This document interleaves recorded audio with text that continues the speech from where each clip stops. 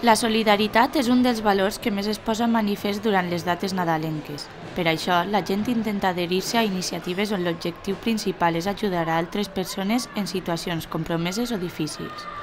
Este és el cas de la jornada que van organitzar els Juniors Salom junt amb la col·laboració de la Regidoria de Joventut de l'Ajuntament de Mislata i de diverses associacions del poble com a WIM. Joc Solidari és el nom de l'activitat que el passat dijous 29 van organitzar els Juniors Shalom amb tota mena de jocs, tallers, esports, actuacions, premis i sorpreses. En definitiva, una vesprada plena d'activitats destinades als més xiquets del poble que s'emmarca dins de la programació Nadal Actiu que organitza l'Ajuntament. Esta es la quinta edición que hacemos del Joc Solidari y bueno, tenemos un poco de todo. Eh, tenemos actuaciones, eh, varios talleres, luego el concepto de la Juventud nos ha dejado material,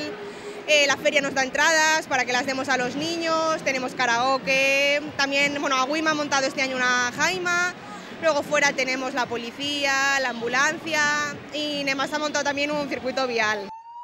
A la jornada, que va ser tot un èxit, els assistents van poder trobar tot tipus d'activitats, tant esportives com creatives o lúdiques. Bàsquet, futbol sala, ping-pong, pintura de cara, tallers musicals, videojocs o actuacions de ball foren algunes de les coses de les que tant enuts com majors van poder disfrutar. L'entrada a l'activitat, que es va realitzar de 5 de la vesprada a 9 de la nit al pavelló esportiu del Quint, tenia un preu simbòlic d'un euro. El regidor de joventut, Toni Arenas, ens va explicar on es destinaran els beneficis obtinguts amb la venda de les entrades d'esta quinta edició del Joc Solidari. Se está celebrando la quinta edición del Choc Solidari, que es organizado por la Asociación Junior Salom y la Asociación AWIM en colaboración con el Ayuntamiento. Y nada, es una forma de, de recaudar fondos, en este caso para, para el Sáhara, para montar un centro de ocio para niños y niñas saharauis que se lleva haciendo, pues como he dicho, cinco años y es una forma de, a la vez de pasar una tarde divertida, jugando con, los amigos y amigas, pues el poder eh, realizar una causa solidaria, como es colaborar en realizar este tipo de, proyectos en, el Sáhara. Este projecte, que es vol desenvolupar al Sàhara, ha estat organitzat per Junior Salom i Sant Marcos, però és l'Associació Humanitària Internacional de Mislata l'encarregada de coordinar-ho.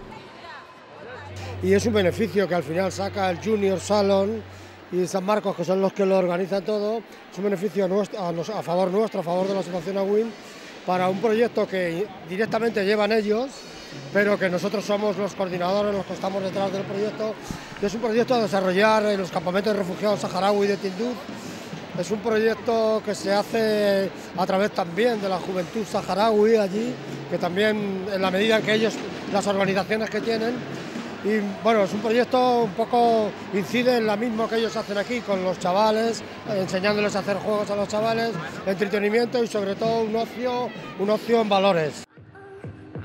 Esdeveniments com el de la passada jornada mostren que la població mislatera és solidària i participativa, amb ganes d'organitzar-se per ajudar a qui més ho necessita.